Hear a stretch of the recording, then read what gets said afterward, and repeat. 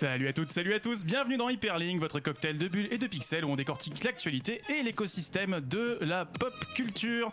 Florent, tu danses toujours Toujours. Toujours, c'est toutes les semaines, ma c'est parfait. ma petite danse des épaules. Et Lorraine, tu ne danses pas. Non, Mais comment vas-tu? Bah ça va bien. Mais je bouge sur mon siège sinon.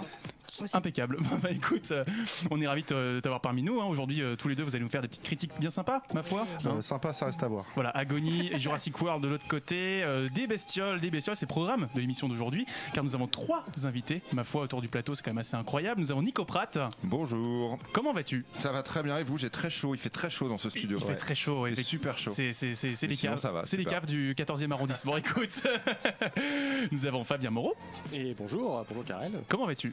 Eh, Très très bien, ravi d'être avec vous tous. Alors, on, pour rappel, on t'avait déjà reçu à l'occasion de, euh, la, de la sortie de La Forme de l'eau, pour fait. parler de Guillermo del Toro. Lorraine, tu étais là. Oui, tout à Voilà, fait. effectivement. Et nous avons Thibaut Gomez-Léal. Bonjour. Comment vas-tu? Eh bien, ça va pareillement bien. Ce sont pareil J'ai des, pareillement chaud et j'ai pareillement. des, des retrouvailles aussi, parce qu'on Exactement. t'avait, on t'avait reçu pour Ready Player One. Tout à fait. Voilà, donc euh, écoutez, euh, c'est pas mal, hein, on est un peu en terrain connu, on va quand même parler d'un monde un petit peu euh, fantastique, un petit peu, euh, j'ai envie de dire, perdu, celui de, des dinosaures, hein, parce qu'il me semble que tu sors un bouquin, euh, Mais ça y est, il est sorti Il est sorti, Enfin, il est sorti. là, je l'ai acheté Voilà, Rokirama hors série Bah sur voilà. Jurassic Park, voilà, la caméra là-bas, voilà. Voilà, nickel. Et voilà, oui, donc hors série Rokirama Jurassic, sur sur Jurassic Park, sur uniquement le premier Jurassic Park. Et voilà, tout ce qu'il faut savoir, euh, plein d'anecdotes, plein d'interviews, euh, plein de secrets de fabrication, comme on dit. On reviendra dessus euh, tout Avec à l'heure. Fabien, j'en profite pour te dire que tu sors un bouquin euh, sur Ishiro Honda, humaniste, humanisme monstre, c'est ça Oui, c'est Chez- ça, le, le 21 juin chez, euh, chez Rouge Profond. euh, voilà, ça sort bientôt. Très bien. C'est dans l'air du temps, avec tous ces monstres euh, géants. Bah, Ishiro Honda, euh, papa de Godzilla, donc Tout à fait. effectivement, on est dans ce sujet. Exactement. Bon, les amis, vous pouvez toujours nous suivre sur les réseaux sociaux. Thibaut, tu sors rien, t'es Non, sûr moi je, suis, moi, je- moi, je viens là, je, T'inquiète pas, moi, je viens là pour lire les bouquins. Je suis sûr que tu as beaucoup de choses à partager avec nous euh, tout au long de ce numéro. Les amis, euh, vous pouvez toujours nous suivre sur les réseaux sociaux, hashtag HPL. Euh, N'hésitez pas à interagir avec nous sur le chat. On vous lit, hyperlink underscore RVL. N'hésitez pas à follow, ça nous fait plaisir. Petite euh, incartade euh, au, dé- au déroulement de cette émission, j'annonce aussi qu'on couvre toutes les conférences de l'E3. Euh, donc Alors là- toutes, peut-être pas. si, tout. Ju- Jusqu'à ce qu'on arrive à tenir le sommeil, c'est ça le truc. Très en bien. Bon, en gros, ce soir, on va couvrir la conférence Microsoft après l'émission. Donc restez avec nous sur le stream. On. Et va Bethesda aussi, je pense qu'on va, on va réussir à la faire. Bethesda, on va voir sur. Discord après. Bon, les amis, c'est tout pour le, le programme de cette émission. On attaque la Newsbox.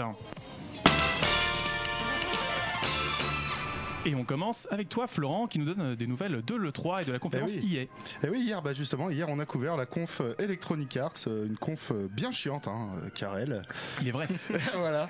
Mais on a quand même appris quelques, quelques petites choses. On a appris notamment que Battlefield 5 sort donc le 19 octobre et aura un mode Battle Royale. Chouette.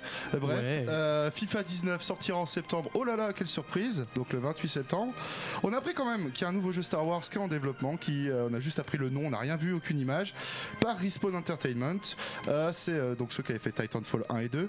Euh, ça s'appellera Star Wars The Fallen Order. Donc on n'en sait pas plus. Sûrement qui se passera entre le film 3 et 4, euh, d'après ce qu'on qu'on sait.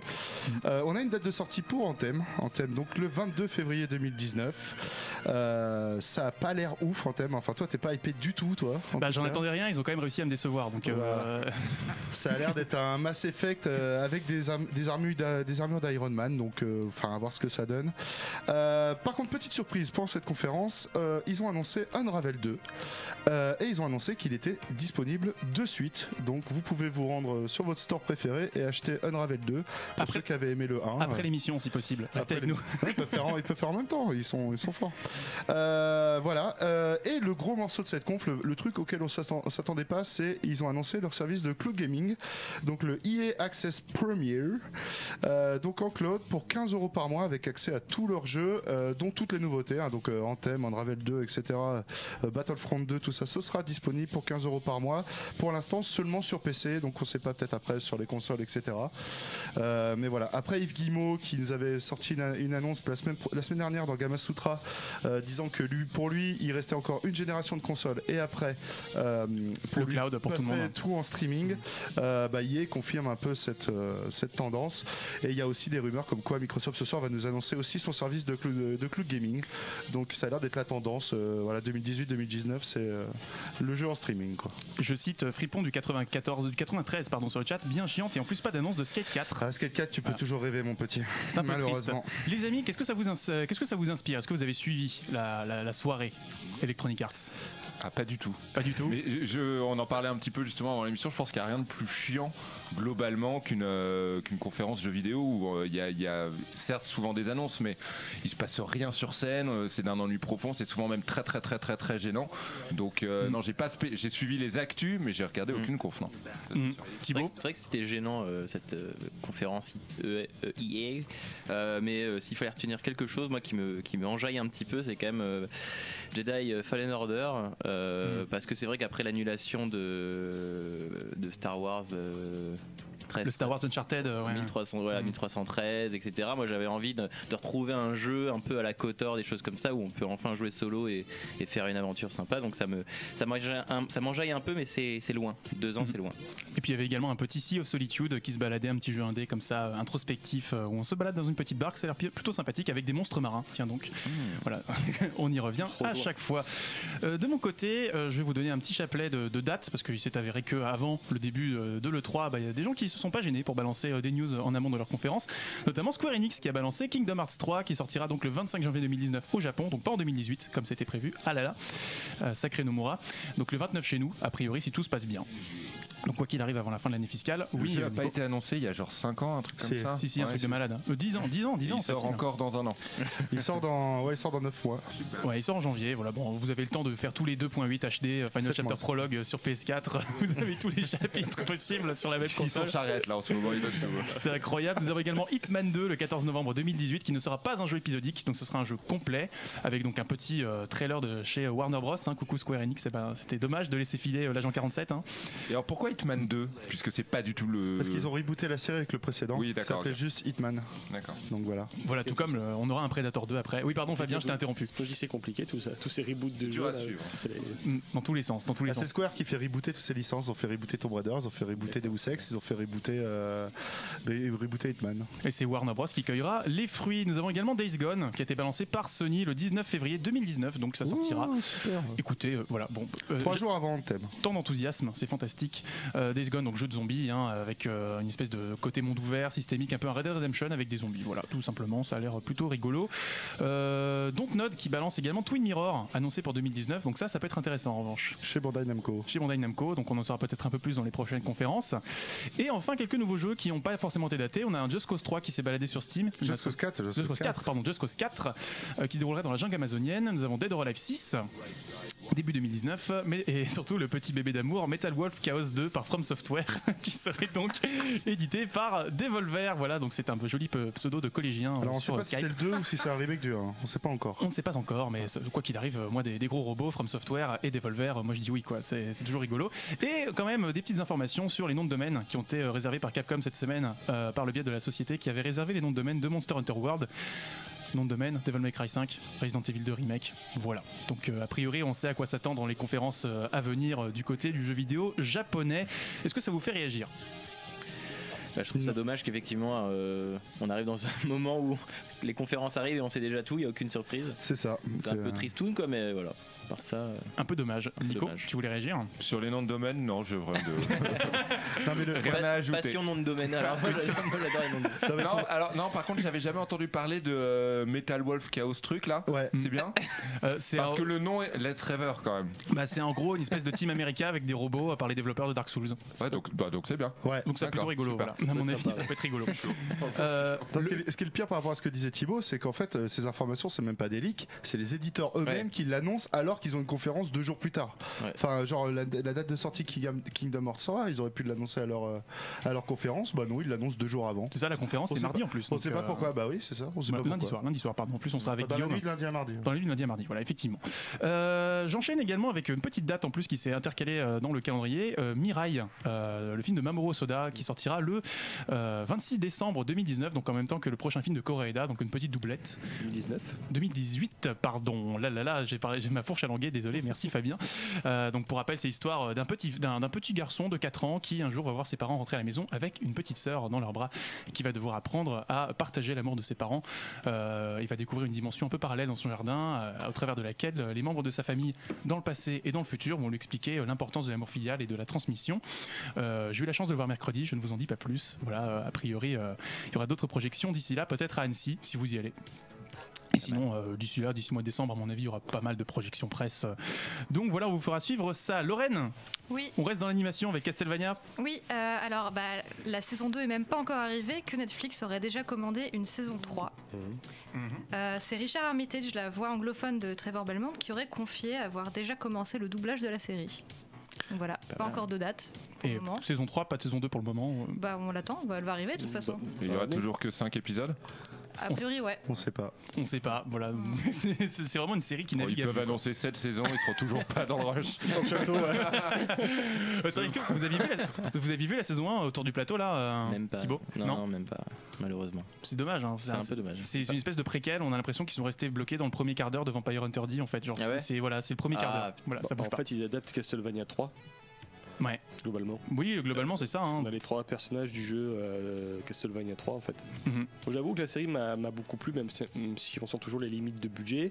Ouais. Pas Ouais, non ça, plus c'est- trop animé, parce que sinon on dit bon là il y a peu de budget. Mais après, je trouve que c'est quand même euh, relativement bien écrit. C'est c'est Warren Ellis Warren, Warren Ellis Ellis, qui- ouais, qui tout à fait. Warren Ellis, Donc, auteur de Transmétropolitane et euh, entre c'est quand même euh, bien écrit quoi. Mm. Vraiment, l'animation est cool, mais moi j'ai vraiment hâte de voir la suite en fait. À voir, bah, vivement que l'histoire démarre. Exactement. C'était de le- la saison c'était 2. le prologue. Peut-être. Bah, De toute façon, ça, ça devrait sortir au mois de juillet à peu près après Japan Expo comme l'année dernière. Euh, mais on aimerait bien qu'ils nous envoient une date. hein, ce serait gentil. Merci. Euh, enfin dernière news, John Lasseter qui quitte Walt Disney. Euh, oui, euh, John Lasseter, le géant de l'animation, le directeur artistique des studios Pixar et Disney, quittera ses fonctions. Celui à qui on doit Toy Story et Cars était accusé de harcèlement sexuel, révélé à la suite de l'affaire Weinstein en novembre 2017. Le PDG de Disney lui rendra hommage avec ces mots. John a eu une carrière remarquable chez Pixar et Disney Animation, réinventant le métier de l'animation, prenant des risques inouïs et racontant des histoires originales, de grande qualité et intemporelles.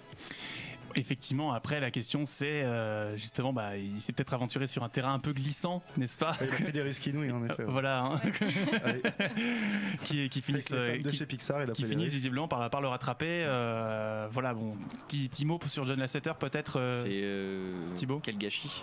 C'est dommage parce que ce mec-là, c'est un, c'est un géant. euh, littéralement, moi je le mets euh, au même niveau que Walt Disney. C'est un mec qui a révolutionné son média et qui a bouleversé toute une industrie et en plus euh, a donné de la qualité avec. Et, euh, quel gâchis, quel dommage d'avoir euh, d'avoir un mec comme ça qui, qui soit aussi euh, quelqu'un de de dégueulasse. Euh, rien à ajouter. Très bien. Non, non, Mais c'est vrai, non, mais il a, euh, en l'occurrence, t'as tout à fait raison, t'as tout à fait raison, c'est du gâchis, mais bon, euh, voilà, il s'est mal comporté, il s'en Voilà. va. Dégueulasse, ce sera donc le mot de la fin de cette case news. Non, si, si, je cite quand même euh, French Phenom sur le chat, euh, qu'on salue bien bas évidemment. John Lasseter, c'est devenu l'archétype des méchants de Pixar, mais en vrai. Euh, Mafouba qui nous dit, euh, bah, on salue Mafouba évidemment. Euh, Lasseter parti, Pixar mort noyé. C'est vrai que qui pour euh, reprendre la. Hmm, Je pense que ça ira très bien pour Bah, Pixar. J'espère juste que Brad Bird il a rien fait de, de- de Ah, trucs non, et d'agressions sexuelles, c'est tout quoi. Euh, ouais. Ah, parce que si, Ah, si on on, apprend aussi que Brad Bird aussi il a fait ça. pff, Non, Ça- lui il démonte plutôt ses collaborateurs, mais il le fait, il- je mais il le pense fait frontalement. ça a l'air d'être un bon gars pour, donc. pour ouais. inspirer les équipes. Ouais, ouais. Effectivement. bon, bah écoutez les amis, on, va prolonger cette petite discussion pendant la pause musicale. Choisi par tes soins, Florent, il me semble, c'est euh, Blue Oyster Cult. Le morceau s'appelle Godzilla. Tiens donc. À tout de suite. De retour dans Hyperlink, votre cocktail de bulles et de pixels. On est toujours avec Nico Pratt, Thibaut Gomez-Léal et Fabien Moreau. Comment ça va? Impeccablement bien, comme toujours. Impeccable. Toujours un peu chaud. Bah, je crois que Nico il est en train de mourir de chaleur. Moi, je pense. Il en est à son, il en est à son 60e verre d'eau là. J'en Voilà. peux plus, je Il compte co- les carafes. Il pensait éviter le soleil en sachant Roland Garros en venant chez nous et euh, finalement il l'a retrouvé. Voilà. bon, écoutez les amis, euh, c'est parti pour le deuxième, la deuxième partie de cette émission. On fait donc les, nos critiques de la semaine. Cette semaine, deux critiques un peu monstrueuses, un peu, un peu, un, peu méchantes, n'est-ce pas? Euh, On va donc avoir Agonie d'un côté. Florent, est-ce que tu es prêt Je suis prêt, je suis prêt. je suis prêt. Et de Tempo l'autre harmonie de l'autre. côté, Jurassic World 2, Fallen Kingdom, Fallen Kingdom pardon, avec euh, Lorraine. Oui, Tu es prête ah, tout à fait. Impeccable. Vous pouvez toujours nous suivre sur les réseaux sociaux, hashtag HPL. Et n'hésitez pas à intervenir sur le chat. On vous lit. On note. On salue d'ailleurs Miss Mew qui était venue en plateau la semaine dernière, qui est de nouveau présente sur le chat. Ça nous fait très plaisir. C'est parti pour les critiques. C'est de la merde. Alors Agony, jeu euh, édité par Core Media chez nous sur PS4, euh, PC, Xbox One, je dis pas de bêtises. Et non, t'as tout à fait raison. Agony est un titre que j'ai suivi euh, depuis qu'il a été annoncé par Mindman Studios sur Kickstarter en 2016. Et malheureusement, après avoir, fini le- avoir finalement eu le temps d'y jouer, je ne suis plus aussi heureux que je l'étais de la perspective d'aller explorer les enfers. Alors tu veux dire que ce jeu euh, Kickstarter n'a pas tenu tout- tout- tout- toutes ses promesses? Euh, malheureusement non. Agony, comme son nom l'indique, est une représentation brutale et viscérale de l'enfer où les joueurs sont jetés dans le purgatoire avec les souvenirs de leur vie mortelle effacés, remplacés par un désir presque obsessionnel de trouver quelqu'un appelé euh, la déesse rouge, la femme responsable des enfers. Une grande partie de l'exposition dans Agony est racontée au travers des articles de journaux, de collections, de bandes dessinées et autres objets cachés, éparpillés dans le monde du jeu. Agony nous offre une présentation et une ambiance particulièrement léchée par contre, notamment grâce au doublage qui complète parfaitement un aspect visuel très recherché. Visuellement, Agony est plutôt un beau jeu, surtout si vous pouvez mettre les, réglages en ultra. Les, les environnements font penser à Cronenberg dans certains détails grotesques. Le cœur du titre nous fait sentir comme dans un cauchemar interactif et vivant, avec une inspiration claire dérivée des œuvres de l'artiste néerlandais Hieronymus Bosch et évidemment de l'enfer de Dante. Malheureusement, le polish visuel est plutôt incohérent. Bien que les environnements et les ennemis semblent de la partie, la plupart des autres PNJ ou résidents des enfers semblent, semblent tout droit sortis d'un titre de lancement de la Xbox 360 Aïe. plutôt qu'un jeu sorti en 2018. Les PNJ jouent un grand rôle dans Agony et car on peut en prendre possession et les contrôler. Et une fois que le personnage du joueur est tué ou pendant des séquences spéciales et qui permettent aux joueurs de se projeter dans les corps des damnés et dans le, corps- dans le corps des démons. Et donc ce système de possession est un des éléments au cœur du jeu, euh, a priori. Est-ce que ça fonctionne bien? Et bah posséder d'autres personnages est un mécanisme qui est généralement utilisé dans le jeu pour tromper la mort, donnant au joueur une trentaine de secondes pour trouver un hôte à prendre en charge au lieu de devoir continuer à, par- à partir d'un checkpoint. Le temps qu'il faut pour trouver un autre autre, un, autre hôte, c'est dur à dire, pour la plupart me semblait juste, mais un problème que j'ai eu avec ce mécanisme est de prendre le contrôle des démons. En effet, les démons, contrairement aux personnages humains, ne peuvent pas vraiment être utilisés pour progresser dans le jeu. Et au lieu de cela, prendre le contrôle d'un démon est censé permettre au joueur de franchir un obstacle environnemental pour, pour, pour continuer. Le, le problème est que le jeu n'indique pas clairement quand cela est nécessaire, ce qui rend la possession démoniaque plutôt inutile, d'autant plus que le joueur ne peut contrôler qu'un démon pendant une très courte période avant de devoir à nouveau trouver un nouvel hôte. En fait, Ag- Agony souffre d'un manque d'orientation tout au long du jeu. Je me suis souvent retrouvé complètement perdu, essayant de, j'ai dû essayer et recommencer plusieurs fois pour finalement trouver mon chemin. La progression est souvent alambiquée ou confuse, et elle s'en retrouve encore plus entravée par des points de contrôle euh, au placement discutable et souvent trop éloignés. Un bon point pourtant, les sauvegardes automatiques tiennent compte de vos résolutions d'énigmes, ce qui signifie que les joueurs n'auront plus qu'à retourner à l'endroit où ils sont morts, sans savoir à s'inquiéter des casse-têtes, des pièges ou des ennemis. Mindmine inclut aussi euh, l'option d'activer un système d'orientation plutôt impératif connu sous le nom de ligne du destin. Une sorte de lumière euh, Un peu en violette, néon, ouais, voilà, c'est ça, pour aider les joueurs à aller vers la direction générale de leur prochain objectif. La fonction de ligne du destin est toujours activée, cependant par défaut, elle ne peut être utilisée que quelques fois jusqu'à ce que le joueur trouve un nouveau euh, checkpoint. Heureusement, la fonction peut être activée euh, pour être permanente dans les paramètres, ça m'a bien aidé. Et j'aurais souhaité qu'elle puisse également aider à suivre les objectifs spécif- spécifiques ou les quêtes secondaires plutôt que de pointer seulement de vagues directions qui finalement euh, aident à atténuer un peu la frustration de, de parcourir le monde. Hmm, Alors dans le jeu vidéo, on- pour créer une espèce de menace autour des monstres qui nous environnent, on fait souvent passer ça par des phases d'infiltration. Est-ce que c'est réussi du coup? J'ai cru comprendre que... Ah oui, bah, Agony euh, utilise aussi ces phases d'infiltration. C'est un, c'est un- c'est un aspect qui était plutôt sympa sur certaines séquences, surtout au tout début du jeu. Euh, dans un labyrinthe qui est jonché d'ennemis, euh, chaque rencontre euh, en fait un moment tendu et effrayant. Mais Agony est un jeu qui cherche résolument à se montrer sombre, et trop sombre pour son propre bien, littéralement. Les sections furtives, parfois amusantes, peuvent malheureusement devenir ennuyeuses à cause des choses stupides, comme des pièces trop sombres. J'ai dû augmenter euh, la luminosité euh, de mon écran pour y voir quelque chose, mais bon, après ça dénature tout le reste euh, de, l'expérience. Les ennemis qui vous repèrent immédiatement sans qu'on sache trop pourquoi, et qui nous tuent d'un coup, ou la possession d'un corps, ils nous, ils nous éjectent, ou simplement une mauvaise conception du jeu et du level design, où on n'a aucun endroit pour se cacher. Euh, je sais que nous sommes en enfer, mais certains passages m'ont particulièrement gêné euh, dans ce qu'ils présentent euh, aux joueurs et dans ce qu'on nous demande de faire. Et en plus, certaines scènes ont été coupées. Le titre représentait des meurtres d'enfants et un viol en vue subjectif où tout nous était montré. Quoi. Berk, apparemment, il- tu me disais qu'il y aurait un patch pour. Et il y aurait un pouvoir patch pour les remettre, ouais. ces scènes. Je Bravo, sais les pas gars. qui a envie de jouer à ça, mais en tout cas pas moi. Bref, Agony est un jeu que je voulais vraiment aimer et visuellement le jeu est plutôt impressionnant. Même certains des premiers moments de gameplay, on sent bien conçu, c'est frais, mais dans l'ensemble, Agony ne résiste pas aux, aux autres jeux du genre. Au mieux, Agony se sent comme un, euh, comme un amour entre la série Outlast et le redémarrage de Doom en 2016. Ok. Au pire, Agony se sent comme un jeu qui a probablement besoin de quelques mois dans le creuset avant de nous inviter tous en enfer. Effectivement, c'est peut-être un jeu sorti un peu trop tôt, peut-être qui a Ouais. mal réparti son budget, c'est possible. Est-ce que du coup, Il y a des grosses erreurs quand même dans, juste dans la conception du jeu quand de base. donc, Ah d'accord, euh, ok. ouais. Problème de design euh, Ouais. inhérent à la- à l'intention d'origine, ok. Ouais. Euh, Est-ce que du coup ça vous fait envie Est-ce que ce- voilà cette, cette, espèce de d'odyssée un peu euh, entre les tripes et les trucs un peu Le jeu atroces comme ça où il y a un viol d'enfant? Ouais. Ah, non, il y a un meurtre d'enfant Non, non. et un viol de succube. D'accord, ok. Mais euh, tu vois, mélangé. tu vois le, tu vois l'engin de ton démon en mode tentacule et D'accord. tout, c'est dégueulasse. Ah, c'est- dégueulasse, c'est Euh, dégueulasse. alors, moi je, trouve, moi je trouve ça super moche surtout. Je trouve ça Ouais. très laid. Alors, vrai, on peut vrai- aimer, hein, mais. En vrai, les vidéos font pas effet, mais moi sur mon PC en ultra, ça rendait pas mal. Ça rendait pas mal. Ok. Bon, c'est tout ce qu'on peut en dire, je sais pas. pas grand chose de plus à en dire. hein. Bon, c'est dommage hein, parce que c'était quand même euh, plutôt une promesse artistique assez intéressante, Mm. euh, assez alléchante. euh, Enfin voilà, c'est vrai que euh, depuis Dante's Inferno, euh, t'avais une espèce de, de- de délire un peu infernal comme ça qui manquait un peu dans le jeu vidéo. Et c'est vrai Ouais. que Mais à vouloir faire trop de gore, je pense que faire le trop de gore tue le gore. Voilà. Ok. Tout simplement. Bon bah écoute, euh, fantastique. Hein, euh, c'est dommage. Peut-être que Scorn, le prochain projet inspiré des travaux de Giger, euh, sera intéressant Peut-être. à voir. À voir. euh, 2019. Donc c'est tout ce qu'on peut en dire. Fabien, non? Non, non, euh, ça a l'air d'être un jeu euh, destiné à toute la famille, donc ça a l'air par- parfait. Ça a Aussi beau que, que ces films d'horreur thaïlandais, on voit les visions de l'enfer euh, réalisés sur fond orange, Enfin, c'est- c'est c'est beau. C'est c'est incroyable. Bon bah écoutez les amis, je propose qu'on aille directement euh, du côté des dinosaures. Est-ce qu'on a la musique de Jurassic Park? C'est bon, c'est fantastique. Jurassic World, Fallen Kingdom, Lorraine. L'heure de vérité. Mhm. Alors, Alors, le volcan de Isla Nublar entre en éruption et menace les dinosaures laissés en liberté après la fermeture de Jurassic World quelques années auparavant. Le temps est donc compté et le débat sur le sauvetage ou non des dinosaures est lancé.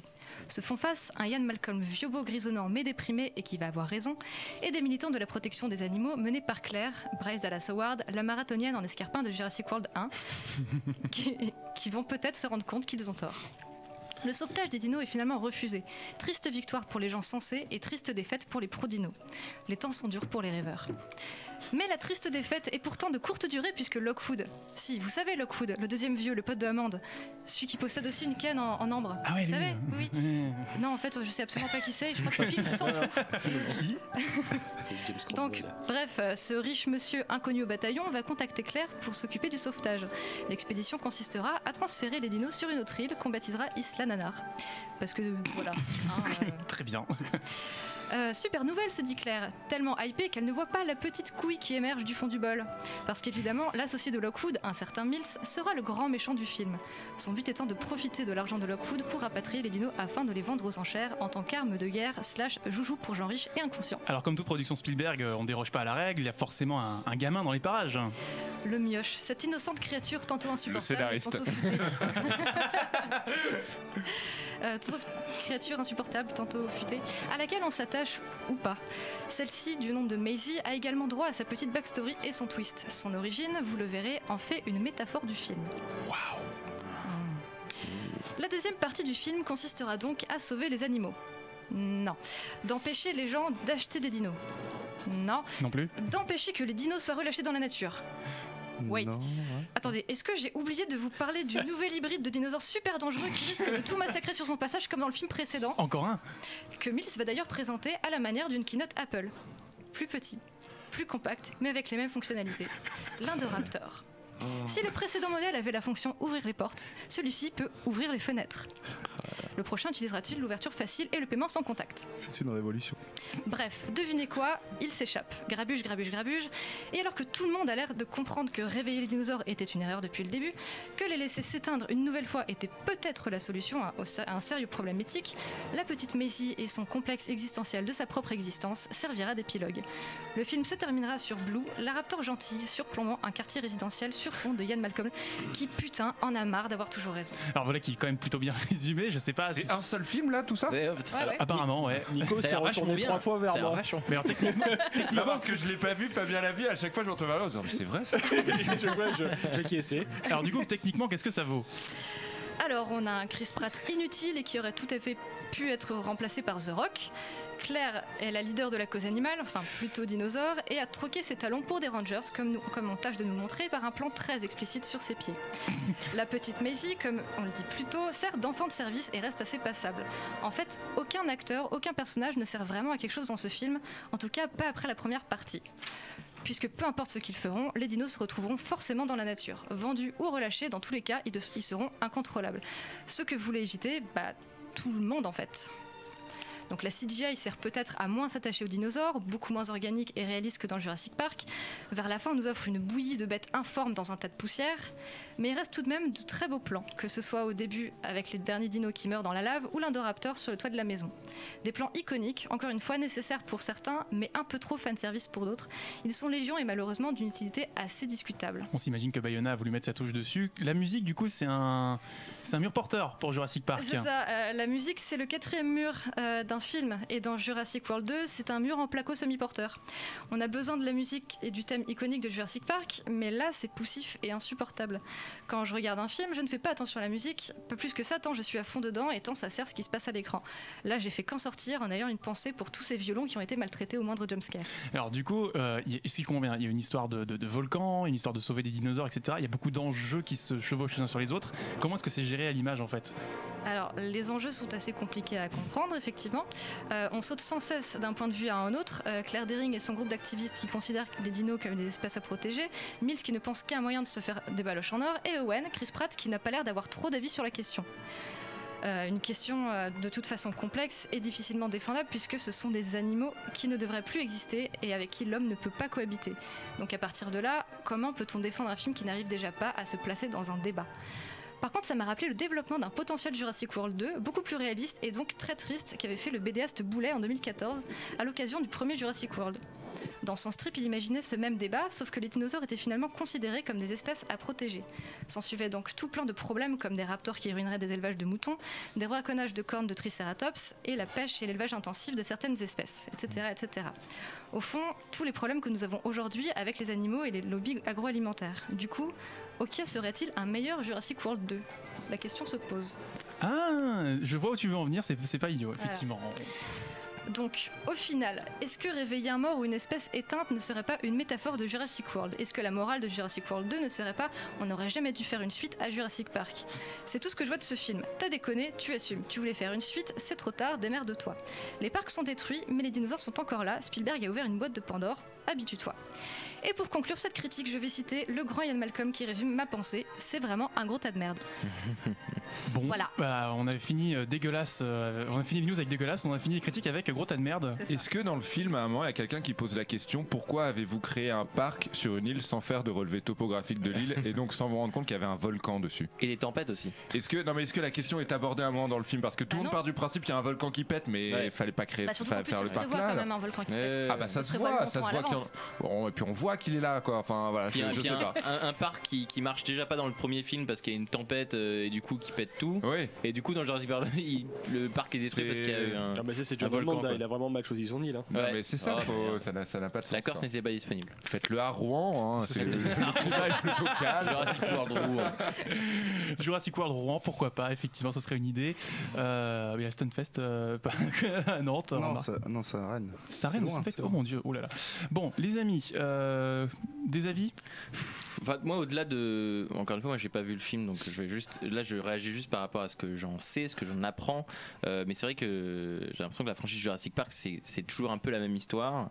Et, euh, et c'est vrai qu'il faudrait juste arrêter avec ce trope qui revient tout le temps, qui est qu'on va créer un nouveau dinosaure encore plus méchant, encore Mm. plus euh, diabolique, avec encore plus de dents, qui est encore mieux que précédent.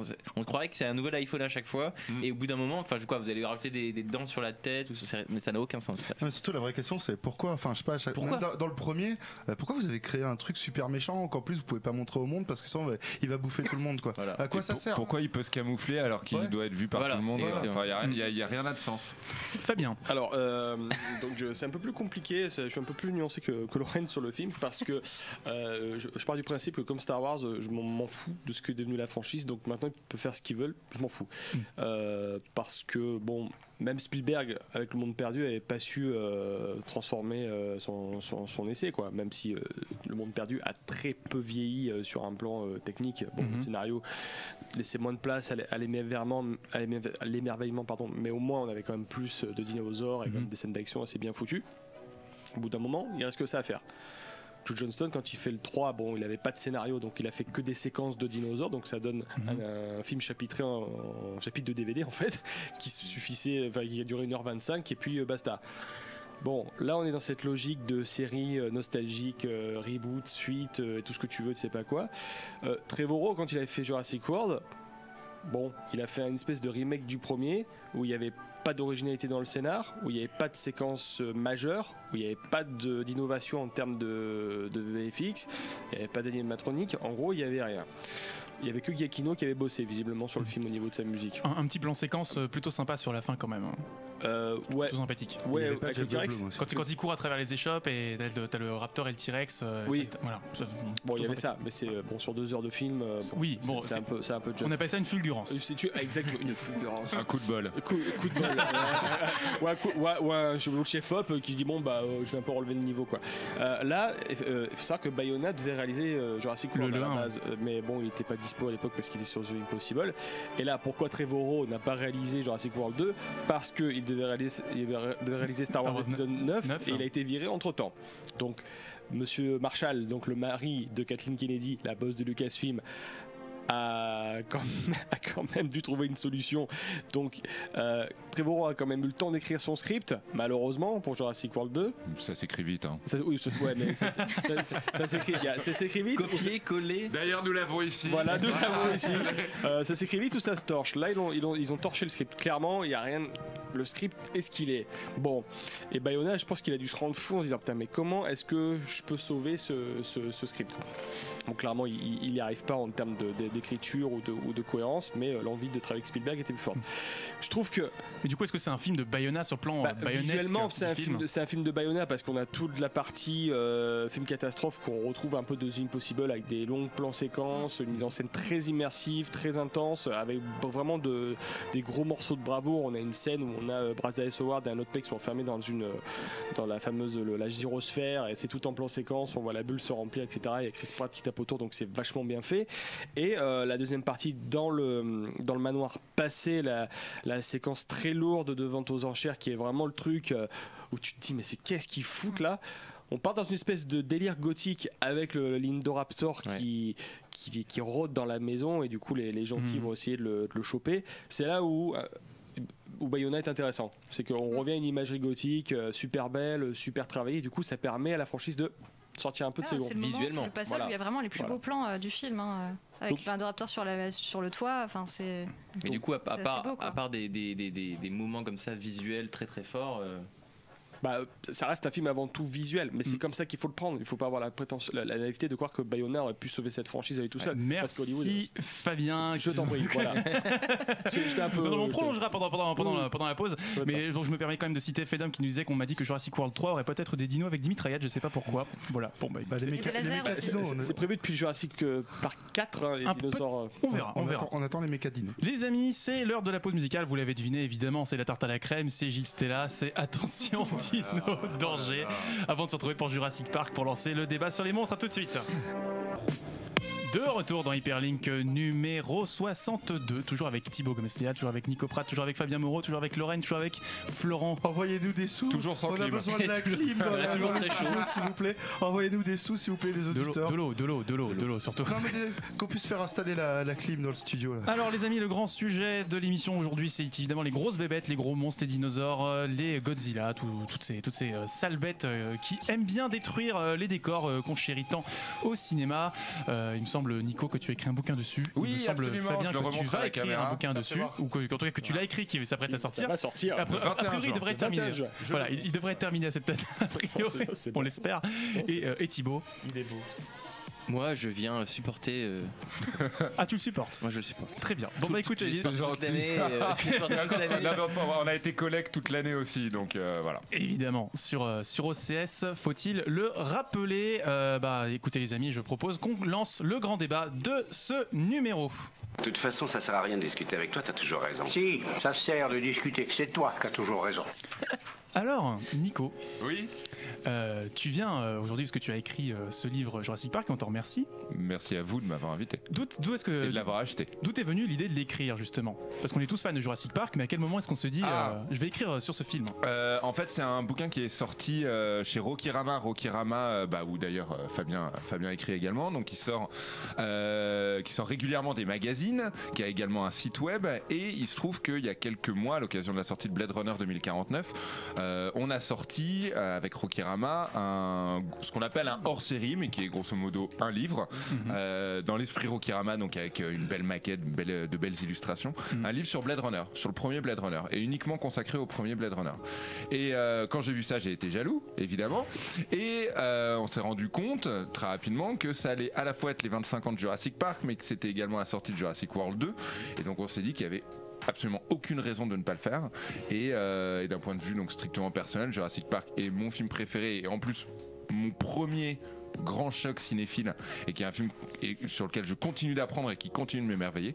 Donc, euh, donc voilà, c'était signé à ce moment-là. Alors quelle source est-ce que tu as employé Parce qu'il y a bah, énormément de... de, de- Bah, de- Wikipédia hein, principalement. euh. Mais encore, source directe, euh, ouvrage Euh, théorique euh, Alors, je pense avoir lu quasiment tous les bouquins, tous les bouquins sur Spielberg et tous les bouquins sur le sujet, tous les sujets qui étaient un petit peu, on va dire, trop pointus pour moi. C'est-à-dire, par exemple, les dinosaures, les vrais dinosaures.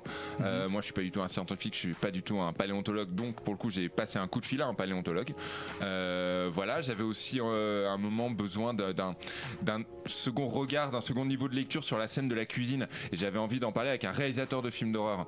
Euh, donc j'ai décroché mon téléphone et j'ai appelé un réal qui s'appelle Mathieu Turi. Et sinon après toutes les informations ça vient euh, de Phil Tippett lui-même, du producteur lui-même, euh, euh, du making of qui était dispo sur la VHS à l'époque et qui est un, qui est un making of que je vous encourage à voir, ne serait-ce que pour les informaticiens d'ILM qui courent en imitant des gallimimus sur le parking. Vous- ça ne vieillit pas.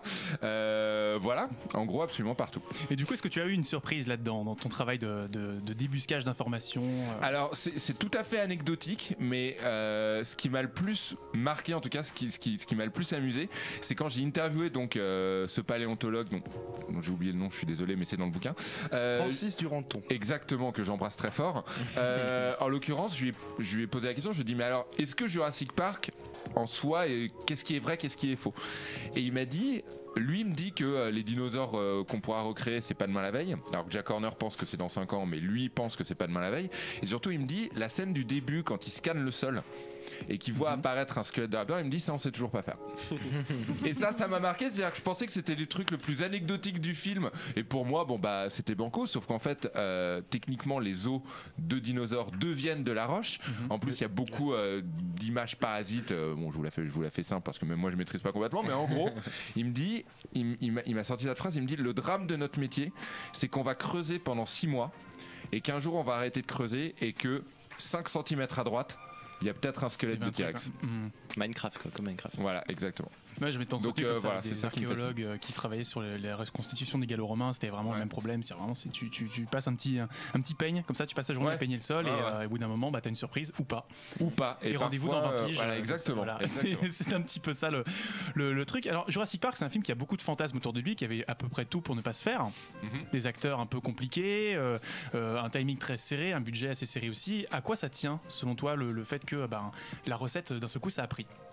Au, bah, de, de- au miracle, j'ai envie de dire. Euh, après, il n'y a pas.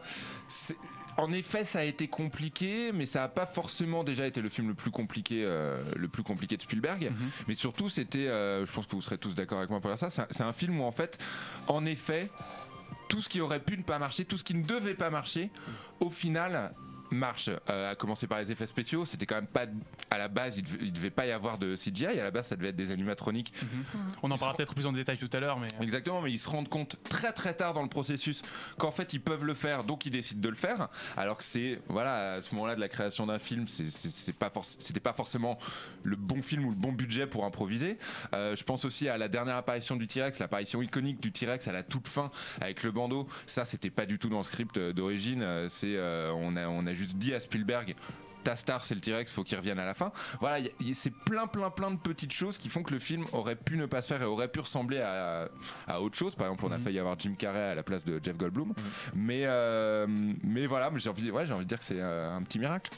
Effectivement, un petit miracle. On va peut-être commencer un peu à sortir de, de- de Jurassic Park, mais c'est vrai que Jurassic Park, c'est un film qui fascine. Tu l'as dit toi-même, hein, 25 ans après. Euh, au final, comment, pourquoi cette fascination pour les, pour les, pour les créatures, pour les monstres en fait au cinéma de manière générale? Déjà, à quoi ça tient? Est-ce que peut-être euh, étymologiquement parlant, le monstre, c'est le facteur de euh, ce qu'on désigne comme quelque chose d'étranger Est-ce que c'est de là que vient cette fascination pour ces créatures Thibaut, peut-être? Euh, après, moi, je, Je te vois bouillonner. euh. Non, non, mais je, je- je réfléchis, je réfléchis. Non, non, mais le, le- le- c'est vrai que le monstre au cinéma, ça, ça va, ça va. C'est un thème extrêmement large. C'est vrai que dans le monstre, on va parler effectivement des dinosaures, mais ça va Mhm. toucher un peu toutes les, toutes les variations, etc. Le géant de fer, tout ça, les robots. Et euh, après, ça va rester un outil. Et peut-être que quand on va en discuter là, on va s'en rendre compte. Mais c'est vrai que euh, à travers toutes les époques du cinéma, le monstre va être là pour refléter. Euh, un certain discours euh, d'une certaine époque. Jurassic Park a été là à un moment donné pour dire quelque chose sur son époque. Euh, Mhm. King Kong était là à un, à un autre moment donné pour dire autre chose sur son époque, pour parler du colonialisme, des choses comme ça, etc.. Et du coup, maintenant, le monstre en 2018 parle d'autre chose. Là, Jurassic World, on va parler du clonage, de la vente d'animaux, de la protection de la nature, des choses comme ça. Et notre rapport au monstre va changer en fonction de l'époque. Et le monstre va être un espèce de jalon qui va apparaître régulièrement comme ça dans le cinéma pour euh, dire quelque chose au moment où il est fait. C'est un Le élément monstre. perturbateur en fait. Ouais, mais c'est aussi une bonne façon de pas se regarder euh, directement dans le miroir, je trouve. C'est-à-dire que ça, Fabien t'en parlera mieux que nous, mais Godzilla, typiquement, euh, Godzilla est né du nucléaire et on- donc il y a un monstre qui est créé, qui est ce Godzilla et que donc on va pouvoir détester euh, va- parce qu'il détruit des villes, parce qu'il détruit des vies. Sauf qu'en fait, quand on déteste Godzilla, c'est nous-mêmes qui nous détestons parce que euh, c'est nous qui avons merdé, quoi. Bah, on rejette toujours une forme, une force, une forme de déviance qui a en, qui a en nous. hein. et chaque époque, euh, chaque décennie a ses déviances, et donc chaque décennie engendre ses, euh, ses nouveaux monstres. C'est ça qui est, qui est fascinant. Hier c'était nucléaire, aujourd'hui c'est plus euh, la génétique, et ensuite ça, ça partira sur autre chose. Effec- effectivement. Lorraine, tu voulais réagir, je crois Oui, non, je pensais en fait à un truc que Ray Harryhausen a dit, c'est qu'en fait, euh, lui, il a commencé à faire euh, ses créatures en fait en faisant des dinosaures, et ensuite toutes les autres, déjà, il les appelle pas les monstres, il les appelle ses créations ou ses créatures. Et en fait, il, s'est toujours arrangé pour qu'elles aient toutes euh, une forme, euh, euh, comment on dit, humanoïde, Humanoïde, en ouais. fait, pour qu'on puisse se voir en elles, pour qu'on puisse les détester en se détestant aussi. En tout cas, avoir vraiment une empathie pour ces créatures plutôt qu'une haine ou, ou quoi que ce soit. Enfin, pas. Enfin. Voilà, enfin que- vraiment que ce soit vraiment le reflet de, de l'homme en tout cas. C'est la fin de King Kong, hein, c'est le King Kong Oui. qui tombe. On est triste pour King Kong parce qu'il tombe, parce qu'il était amoureux de, de Fran Walsh euh, et de cette femme. Et en fait, c'est nous on tombe avec lui. Et puis Mm. voilà. Ferré. Ferré. Mais effectivement, là, je vois qu'on cite King Kong, Godzilla depuis tout à l'heure, mais c'est quand même des monstres qui appartiennent à des imaginaires assez différents. Et D'un côté, un imaginaire plutôt japonais avec le kaiju Ega. Fabien, t'es peut-être plus, plus porté sur cette question. Et King Kong, de l'autre côté, qui est plutôt issu d'un imaginaire occidental. Mais ce qui est assez intéressant, c'est de voir qu'il y a toujours la même euh, fascination pour l'objet gigantesque qui vient euh, casser quelque chose. Et est-ce que euh, le fait voilà, est-ce que du fait que ce, ce sont des imaginaires distincts, mais est-ce qu'il n'y a pas des lignes de cohérence qu'on peut, est-ce qu'il n'y a pas des wagons à raccrocher entre ces entre ces créatures-là? Bah déjà, il y, a- y le- il y a le fantasme de l'enfance qui est celui de tout casser. Donc je pense qu'il y a un Ouais. côté très pur de voir toujours une créature et un côté assez défouloir de voir une bestiole géante, euh, en tout cas juste les créatures géantes euh, détruire des, des immeubles. Il y a un côté à la fois, euh, il y a un côté assez jouissif, même si pour nous euh, euh, c'est toujours une catastrophe. Mais ce qui est toujours intéressant, c'est de voir surtout des personnages. C'est une capacité aussi à créer des personnages qui peuvent aussi un peu échapper à la, gri- à la gravité et faire un peu ce qu'ils veulent, avoir des pouvoirs, euh, marcher sur les gens et tout ça, ce genre de choses. C'est ça qui, qui est intéressant. On dépasse la- l'aspect purement animalier justement. Mhm. Pour, disais, les Lorraine, euh, oui, Rosen, il parle de créatures, mais ce sont des personnages avant tout. Que Ça peut être euh, les Argonautes ou euh, Guangxi, euh, le, le T-Rex, ça- reste avant tout des, des personnages. Le Kaijuga, ce qui est bien, c'est que ça donne des noms à ces créatures. Ce sont encore une fois des personnages avec des, Un des noms Godzilla, des noms, voilà, avec des, des créatures. Et ce qui est intéressant dans, le- dans le Kaijuga, c'est qu'on distingue les kaiju des dinosaures. Au Japon. Mm. Le dinosaure est une créature de la terre, donc de la nature, donc cohérente avec ce qu'on vit. Le kaiju, Alors, il y a une transcendance. Le, qui- le- le kaiju est une aberration. Et l'aberration, elle vient de nous en fait. Effectivement, bah c'est- quelque chose d'assez intéressant. Mais du coup, quelle force est-ce qu'ils incarnent Ce Godzilla, on a quand même une, une- un- une connotation très, euh, Mm. très divine là-dessus. Enfin, il y a carrément le God, Godzilla dedans. Euh, à quoi Enfin. Il y, a- une dimension un peu, euh, voilà, je suis là pour vous punir. Là où King Kong n'est peut-être pas là pour nous punir, il est plutôt là pour nous mettre en face de. Euh, pour- pourquoi, pourquoi cette différence à ton avis Est-ce que ça tient à un rapport à la nature euh, qu'ont les Japonais et qu'on n'aurait pas nous? Bon, déjà du côté américain, vite fait, le- on a toujours l'habitude de rendre le monstre sympathique. C'est un processus de cinéma euh, aux États-Unis. C'est-à-dire le euh, King Kong, comme le Raptor, au début, on les représente comme des objets de terreur, et plus ils avancent, et plus ça devient des, des personnages qu'on a pris. À la fin, ça fait coucou dans Voilà, Jurassic et- voilà. Exactement. Les, les kaiju sont aussi des créatures euh, mythologiques parce que c'est le Japon. C'est le dragon géant, euh, c'est euh, les, certains yokai comme une espèce de. Il y avait une baleine, je crois une baleine squelettique dans, les, yokai. Donc ce sont des créatures qui aussi viennent à la base de, zones rurales. Donc forcément, c'est chargé de, de- de légendes, de mystères. C'est ensuite que ces créatures-là arrivent dans, sur- dans des dans des zones urbaines. Euh, c'est sûr que ce sont des personnages qui ont une certaine majesté. Parler de, de Godzilla, alors God, euh, le, le mot Godzilla était, la base c'est Gojira, donc c'est la, Godzilla, ouais. c'est la, la baleine, euh, la baleine gorille quoi. Donc ça montre bien à la fois l'origine de cette bestiole, mais le côté God aussi vient du Japon parce que le mot, la version, le, le- le nom anglais été tourné, été trouvé au Japon, pas aux États-Unis comme, comme on pourrait le croire. Et avant de passer à la question de la, de la riposte humaine, parce qu'effectivement Go- Godzilla, King Kong, il y a toujours une question de la place de l'humain qui va répondre Ouais. à ça, qui va répondre à la place- à l'irruption du monstre dans, dans l'harmonie qu'il qu'il Mm. détruit. Euh, Il y a Miss Mew qui nous pose une question sur le chat. Est-ce qu'on saurait dire à quand remontent les plus anciens mythes de créatures géantes? Bah, il y a La mythologie grecque. euh, Ouais, ouais, ouais, voilà. Florent, tu veux, tu veux te lancer dessus Mythologie grecque et peut-être euh, peut-être même, euh, je sais pas si les, les, les, les de premières, les ça. premières croyances, euh, même, euh, j'ai envie de dire, pré, euh, euh, pré-polynésiennes, ou avec, je sais pas, le- la Terre qui est sur un- une tortue, qui est sur un éléphant, qui est sur Ouais, un ouais. truc, si c'est pas déjà un. Ouais, les, un les co- les co- premier- les cosmogonies à base Voilà, d'animaux. Ça, les cosmogonies, à bas- euh, voilà, où le monde, est re- et le monde Mm. tient sur un monstre, enfin, ou sur un animal géant. Alors j'avais en, en- les, les Incas nous dit, euh, nous dit Seb depuis la depuis la régie effectivement. Moi j'avais une question. euh, je, je- je- alors j'avais lu en préparant cette émission un, un truc sur euh, on enferme un gamin dans une hutte pour que ça évoque le ventre d'un animal géant au travers duquel il va retrouver euh, une espèce de savoir un peu caché et il va en sortir. Bon ça rejoint Jonas etc. Mais c'était dans une civilisation dite primitive. Là j'ai plus le nom comme ça mais ça va me Il revenir y a beaucoup peut-être de civilisations amérindiennes qui font ça, oui. Où euh, pour le passage rituel à l'homme, c'est on t'enferme euh, 10 jours dans une dans une hutte et euh, si t'arrives à en sortir, euh, si t'arrives à en sortir, euh, j'ai- envie de dire vivant, c'est que c'est bon, t'as fait ton passage, ton passage à l'état d'homme et t'es plus un enfant quoi. C'est vrai que le, le monstre, en fait, il est là pour légitimer l'action d'un héros ou d'un personnage qui va bah, le, le terrasser et, par le, le fait qu'il va exprimer une violence à l'égard de ce monstre, il va se trouver légitimé lui-même. Et ce qui est intéressant, c'est qu'on a des personnages comme King Kong et Godzilla qui mettent pas du tout ça, enfin qui mettent ça à mal justement, qui vont pas du tout dans cette direction-là. Euh, mais on posait quand même la question de la, réaction des humains face à ça. Euh, est-ce que Godzilla et King Kong détruisent la légitimité du, du héros euh, humain euh, qui va terrasser une créature mythologique ou Alors, euh, bon, dans King Kong, les, les- les personnages humains n'ont aucun intérêt en fait, à part la, à part la fille et les autres sont juste là pour. euh, pour C'est un élément de contexte. pour, pour- voilà, pour abattre le singe et puis, et puis basta. Enfin, aucun de ces personnages humains n'est plus intéressant que le mythe de la, de la Belle et la Bête. C'est ça le fond. Mais est-ce qu'il n'y a pas quelque chose qui se joue justement là-dessus en fait? Bah, Il n'y a pas de héros en fait. bah, peut-être que le, le- le- le héros humain veut euh, abattre le, la, la part euh, animale de lui-même, je sais pas, en, en abattant le gorille, je sais pas. Je sais pas, après il faut aller peut-être plus loin dans dans l'explication. Euh, dans, dans Godzilla, il y a le, le facteur, euh, euh, le facteur culpabilité qui est très fort à travers la découverte à chaque fois d'une nouvelle arme ou d'une nouvelle technologie qui pourrait détruire l'humanité. Ce qui est intéressant dans la- les Gamera des années 90, c'est que le monstre est connecté directement avec les humains. Donc il y a un début de dialogue. Euh, Il y a un début de dialogue entre l'homme et le monstre qui est très intéressant. Et pour le coup, le personnage de, de- principal humain, c'est une adolescente Mhm. qui va aller justement vers son rite d'initiation vers l'âge adulte, dans sa connexion avec le monstre en fait. Mm, Effectivement, bah, c'est intéressant que tu fais la transition du coup euh, directement avec la- le point suivant du débat. Je t'en remercie beaucoup. C'est le, le- le- le- le- le monstre comme miroir initiatique justement. C'est-à-dire que euh, on va terrasser le monstre pour avancer, mais on va aussi peut-être euh, se mettre face à lui et apprendre à aller au contact du monstre pour apprendre sur soi. Et on voit des créatures comme Totoro, comme le géant de fer, qui sont pas du tout dans une, dans une logique d'affrontement direct a priori, mais qui développent leur personnage et qui développent euh, l'humain à, à travers euh, une interaction. De Thibaut, je te- t'avais peut-être envie de réagir ou Nico?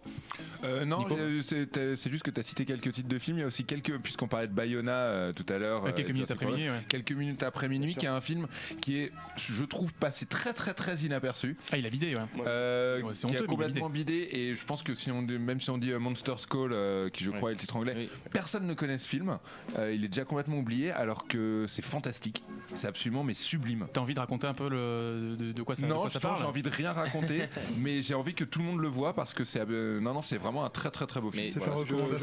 hein, c'est vraiment, c'est vraiment à voir. hein, c'est Ah vraiment ouais. splendide. Et, et sans, sans rien spoiler, mais c'est intéressant qu'on cite Totoro et, euh, et, euh, quelques minutes après minuit parce que c'est c'est une variation du monstre où le monstre, effectivement, comme tu disais, n'est plus une, une, un- une créature, euh, un ennemi, un adversaire, Mhm. mais euh, va être, on va dire, une figure euh, tutélaire, une figure paternelle, une figure qui va permettre, là où par exemple les, euh, la famille ou les parents ne sont plus là. Hein, dans Totoro, Mhm. c'est le cas. Le père est absent, le père travaille, les filles sont laissées à elles-mêmes, et le Totoro va être là pour euh, euh, les faire avancer euh, à certains niveaux de leur, euh, Bah, leur leur faire- apprentissage, de leur enfance. Et pareil dans deuil. quelques minutes. Le deuil- Le deuil dans Totoro. Ouais, voilà. Ça. Mais Totoro, ah, Totoro, il n'y a pas tellement de deuil. hein. La mère est à l'hôpital, mais Ouais. la mère, voilà, la mère est à On l'hôpital sait dans le qu'elle sens où. on sait qu'elle va mourir quand même. La, la bah, à la fin, ça se finit sur une bonne note. À la Ouais, fin, ah oui, on a trouvé un truc, c'est machin, et c'est tout le monde rigole. mais film, quand même, qu'elle- effectivement. Mais tu vois, ils sont là pour remplir un vide affectif pas Donc ça, c'est intéressant l'évolution qu'il y a eu effectivement, comme euh, même comme tu disais sur la communication qui se crée avec le monstre. euh, C'est un peu ça. Lorraine, tu voulais rebondir là-dessus peut-être hein, Sur la question de la, la parenté entre le monstre et un, et un autre personnage, le monstre comme. euh, Non, mais c'est Comme vrai que dans. Totoro et le géant de fer, c'est souvent, enfin, c'est une histoire, une question de deuil ou en tout cas de passage à l'âge adulte, enfin, de rupture avec euh, avec euh, l'enfance, quoi. Donc un, euh, un père de substitution peut-être. C'est ça. bah, c'est intéressant. Bon, on le voit pas là, il est derrière Otto, mais on voit le, dans le garçon et la bête de Mamoru Soda, il y a exactement ça. C'est euh, bah, un gamin qui va disparaître dans la rue, qui va se retrouver dans une dimension parallèle avec un ours euh, qui va lui apprendre la vie et qui va devenir, euh, devenir un, un père un peu de, de substitution, en même temps un peu un mauvais père. Et donc Osoda projette toutes ses obsessions de, de paternité euh, là-dessus. Euh, ça c'est encore un autre sujet. Mais, euh, mais on retrouve effectivement tout ça, euh, la question de, de l'épanouissement de l'individu euh, par rapport au monstre. On a quoi? On a le The Last Guardian, Peter et Elliot, Elliot le dragon. On a, enfin même le géant de fer. Il me semble qu'à la base, l'histoire avait été écrite pour euh, expliquer à un gamin qui va perdre sa, qui va perdre sa mère. Je crois qu'il y a une Bah, histoire son- comme ça. non? il, il a pas de père hein, dans le genre de fer. hein, donc, il y a il une a- histoire, il a en pas perdu- avec la guerre. euh, Voilà, c'est la même chose. hein, son père, et voilà, il est pas là. euh, c'est, euh, il va, il y a même, euh, il, il se lie d'amitié avec euh, un mec qui travaille dans une casse, et puis il, il trouve ce géant de fer. Enfin, c'est, c'est, c'est la même, le même champ lexical véritablement. Mm. Et du coup, avant de refermer cette première moitié, qu'est-ce que vous pensez du combat entre le géant de fer et Mechagodzilla dans Ready Player One Est-ce qu'on peut en parler maintenant Il y a un- pourquoi il y a un souci avec ce, moment-là Non, je sais pas en termes de, de symbolique, qu'est-ce que ça peut nous dire de voir d'un côté euh, le géant de fer et de l'autre côté euh, un Mechagodzilla Cool. je crois qu'il n'y a pas de symbolique. Je crois que les Il y en a pas, mec a pris Non, mais ses alors- jouets et il a fait. Ouais, mais alors c'est assez marrant parce que ça me fait penser à un tweet que j'avais vu au moment de Ready Player One, puisque on voit dans le géant de fer, euh, dans Ready Player One, on voit le géant de fer Ouais. buter entre guillemets, Ouais. Superman. des méchants. Ouais. Ah, non, des enfin des méchants. ennemis, des ennemis, Ouais, euh, ennemis, en gros, voilà. Euh, et j'ai vu quelques tweets euh, s'insurger disant, euh, mais c'est vraiment ne pas comprendre ce qu'est le géant de fer, euh, puisque le géant de fer ne fait de mal à personne et tout. Et j'avais ça, ça, Ah, ça n'est- et- ça ne se passe pas vraiment. ce C'est c'est un jeu C'est vidéo. pas le géant de fer, c'est un avatar. c'est Voilà. c'est pas le géant de fer vraiment, c'est un avatar. Et donc, euh, c'est- c'était assez marrant parce que ça prouvait bien que justement il y avait, il y a un attachement total, euh, total à ce personnage. Euh, mais ça n'empêche pas de pouvoir en faire plein de trucs cool comme dans Ready Player One, qui est un film que je trouve fantastique. Et Fabien, tu, tu bouillonnes. hein. Ah oui, je veux juste te dire qu'en avec cette scène qui doit durer, je sais pas, peut-être deux minutes, Oui. Spielberg a en- enterré les trois films de monstres euh, qui sont sortis cette année au, au cinéma américain. Donc voilà quoi. Voilà, un, un- un Gundam, c'est tout ce qu'on c'est tout ce Ouais, qu'on veut en fait. ça, par contre, Voilà, j'y un- croyais pas et il l'a fait. Bon. Il a fait le, et il a fait le patron quoi. Le patron quoi. Il pouvait pas avoir le Faucon Millenium, il a dit bon, on Ça, va mettre on va Ça, mettre Gundam. Non mais moi je trouve ça intéressant de voir euh, ben, euh, le géant de fer qui choisit d'être Superman euh, terrasser le Superman d'opérette qui est le méchant et qui lui-même aborde un mecha Godzilla qui est un faux Godzilla. Je trouve Ouais. ça assez intéressant c'est voilà, de faire tomber le- le- le- l'imposteur par le biais du symbolisme du géant de fer. Je trouve ça plutôt sympathique. Les amis on va s'écouter MGMT of Moon, Birds and Monsters et on se retrouve juste après pour la deuxième partie de notre grand débat sur les monstres géants avec Nico Pratt, Fabien Moreau et Thibaut Gomez-Léal. A tout de suite. De retour dans ce numéro 62 d'Hyperlink, toujours avec ah, Nico qui commence à danser. Ouais. Voilà. Florent, tu Me- t'es trouvé ça un y est, copain. je me lâche. Enfin, enfin, j'ai Mais non, mais on a eu un peu de clim, moi. on a eu un peu de clim, donc là je me. On se raff- ouais, voilà, on se mais en fait je recolle, donc j'arrête. Effectivement, ça continue à jouer avec les petits dinosaures. On a eu pas mal de, de- de- de remarques intéressantes de la part de notre ami euh, Dragon Roar at Day- Daybreak, joli pseudo, euh, qui trouve un petit peu dommage, alors je vais le, le citer euh, plus, plus explicitement, les monstres créatures sont vraiment toujours là en tant que symbole ou comme aide au développement de l'humain pour l'interrogation. Est-ce qu'on n'a pas un exemple d'œuvre qui considère la créature comme telle ou comme une personne à part sans rapport à un ou plusieurs personnages humains Bah, on a Euh, tous les films de dino qui se passent sans humains, par exemple Le Petit Dinosaure, ou Ouais, ouais. voilà, par exemple. Voilà, effectivement. Ouais, ouais, j'avais j'avais parlé de Gamera tout à l'heure, mais il y a un autre film Gamera où, euh, où le gamin élève la tortue et du coup la tortue est- est elle-même apprend à s'élever grâce au gamin, donc c'est c'est pas mal. Après, il y en a plein d'autres, hein, mais Ouais. euh, Yep. il y en a plein de choses. Gorgo, euh, c'est génial aussi. Pas, pas mal, pas mal d'exemples effectivement. Je, en fait, le sens de sa question, c'est qu'il trouve ça un peu triste de résumer une créature non humaine à une entité qui n'existe que pour aider l'homme dans une période difficile ou représenter l'homme face à ses démons. Voilà. Est-ce que c'est, est-ce qu'il n'y a pas une autre façon de représenter le monstre? Est-ce que le monstre est condamné à être un obstacle en fait? Ah non, bah non, heureusement, le, Non, le- ouais. le- le monstre euh, peut être un, un- un ami aussi, hein, un ami incompris des fois. Bah, avec avoir les films de Del Toro, hein, le monstre n'est pas tout le temps euh, un facteur euh, d'opposition, même si nous on le comprend pas totalement. Quoi.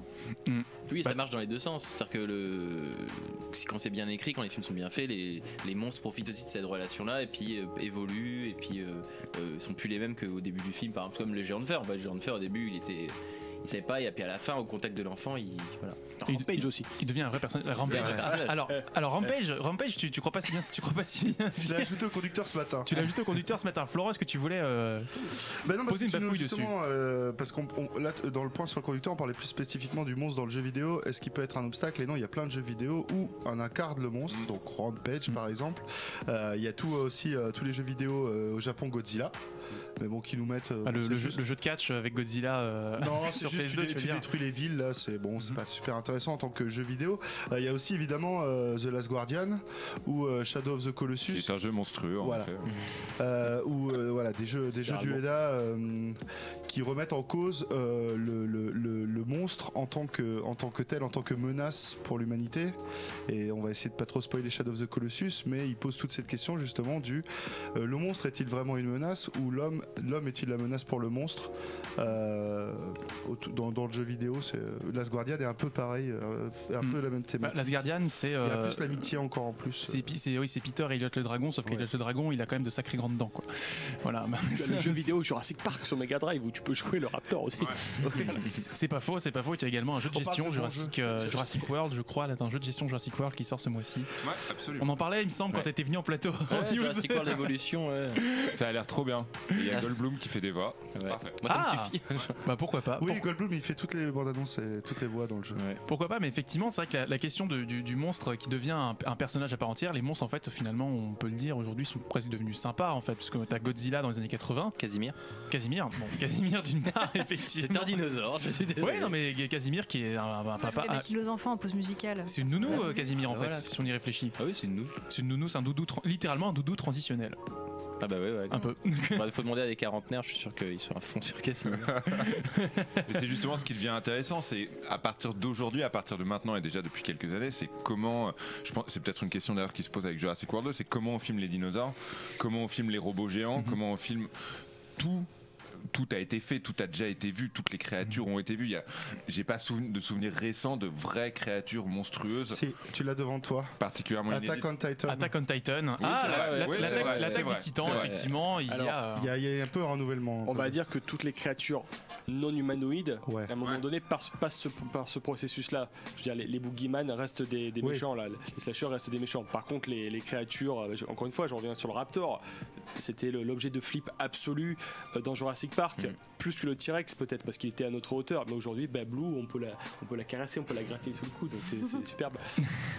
Même comme le monstre de Frankenstein, euh, c'est le personnage qui est de plus en plus euh, sympathique. Même Godzilla lui-même est devenu sympathique au fil, au fil du temps, pour redevenir méchant après. Mais Mais est-ce que finalement, euh, ce qu'on est en train de toucher du doigt, c'est pas euh, l'arrivée des Pokémon en fait? Exactement. Mm. Bah, De toute façon, le, le, euh, le- le Pokémon est à la fois l'héritier du yokai et du, et du kaiju. Parce que le Pokémon, bon, de base, ils sont censés être petits, mais il n'y a pas que des Pokémon petits dans l'univers euh, Pokémon. Bah, Notamment celui-là, hein, voilà, euh, Groudon, euh, qui Voilà. est littéralement un Godzilla.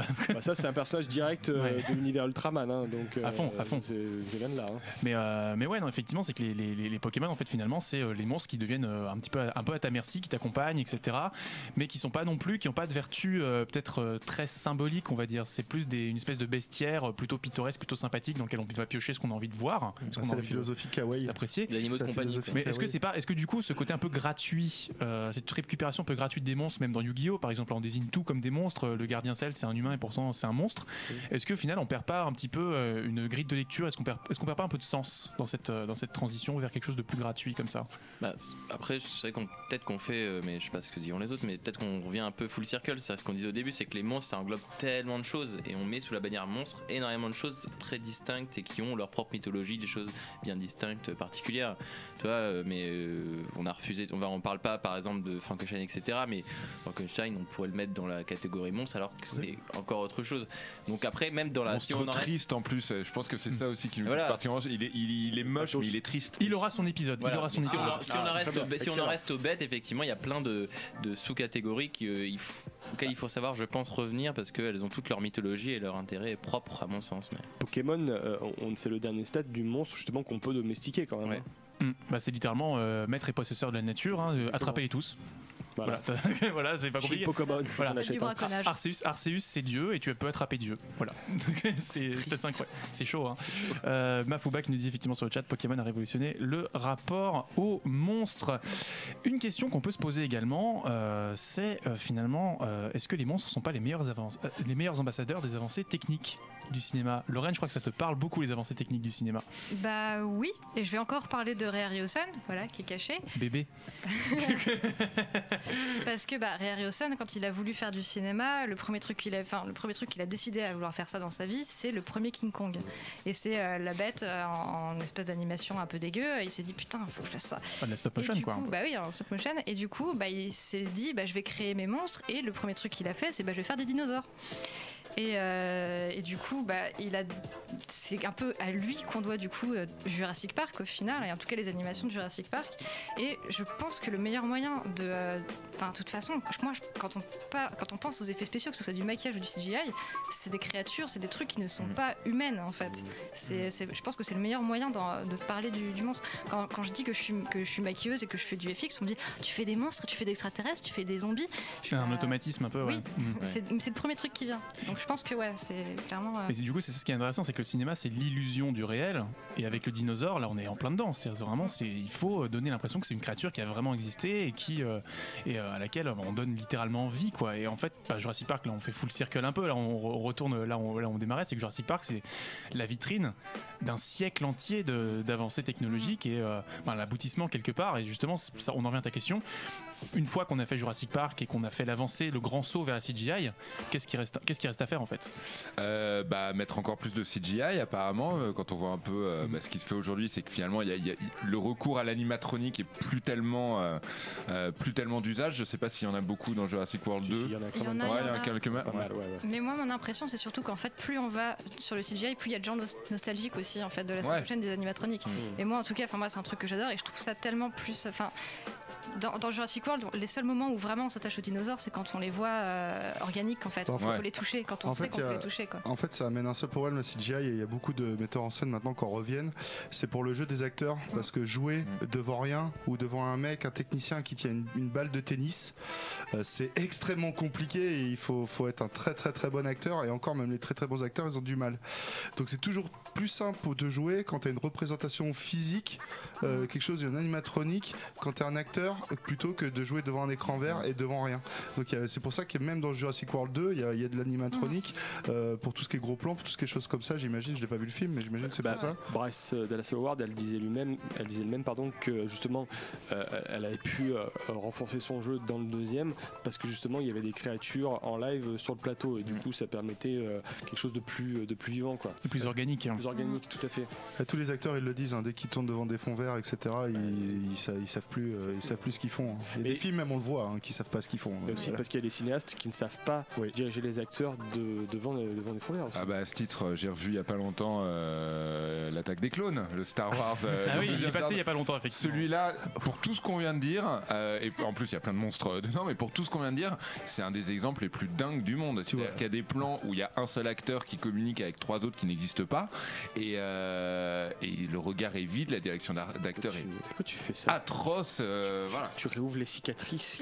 Les vieux dossiers. tu, es- tu joues avec le feu, Nico. Passé à la télé, et en fait, je me, dès, dès le générique, tu sais, dès le bandeau déroulant, je me laisse happer, et à chaque fois, je me dis, mais putain. Et, Alors- Ewan McGregor dans le diner. Alors, Ah, a- a- là là là. avant de passer à la question très intéressante et que, pour laquelle j'ai beaucoup d'amour de Mafuba, euh, French Phenom qui nous dit la seule œuvre avec des animatronics qui va sortir et qui me vient à l'esprit, c'est la série Dark Crystal de Netflix. Ouais.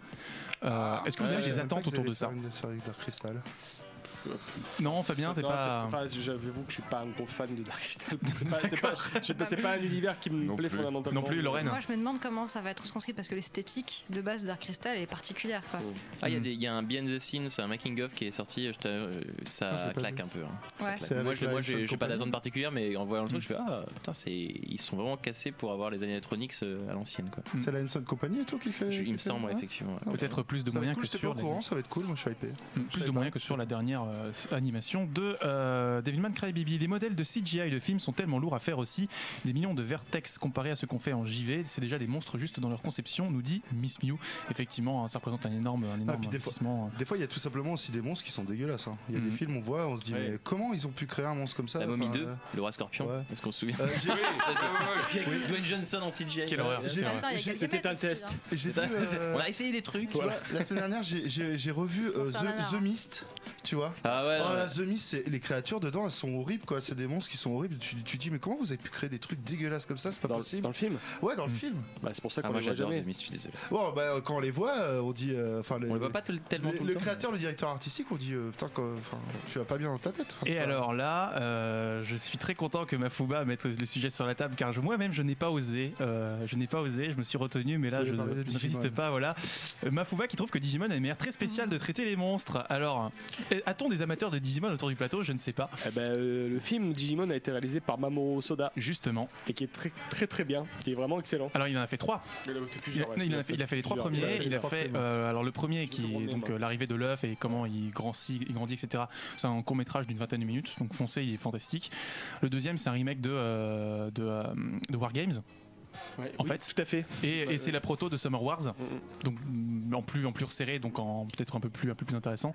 Et le troisième, c'est un truc un peu plus boursouflé avec euh, des sous-intrigues et euh, bon, c'est une commande plutôt le troisième. On sentait qu'il en avait marre. Mais euh, non, effectivement, euh, bon Digimon, bon si tu veux Mafuba, si tu veux vraiment qu'on se lance là-dessus, mais Digimon, c'est c'est plutôt intéressant effectivement parce que c'est euh, contrairement à Pokémon, c'est on a un monstre qui va être le miroir par le biais d'un symbole qui va lui permettre d'évoluer, euh, miroir bah, d'une valeur que le personnage va défendre, un peu à la manière des Sentai en fait. C'est un peu un Sentai Digimon en fait, au final. Mais euh, bon, je sais pas où on, va, on peut aller avec ça hein, si tout le monde n'est pas fan de Digimon autour du Je connais plateau. pas du tout. Voilà. désolé. Je connais rien du tout à Digimon. Chou blanc. donc. Désolé. Bon, on, invite, on invitera Concombre peut-être, euh, Benjamin Benoît, euh, si tu nous, si tu nous Ah, regardes, si tu nous il faut écoutes. faire une émission spéciale Digimon, là on va pas rentrer dans le délire, faut, mais il faut, il faut, il faut. faire une spéciale Digimon. Dernière question, les amis. On reste dans l'univers numérique. Les machines et les intelligences artificielles sont-elles les monstres du 21e siècle?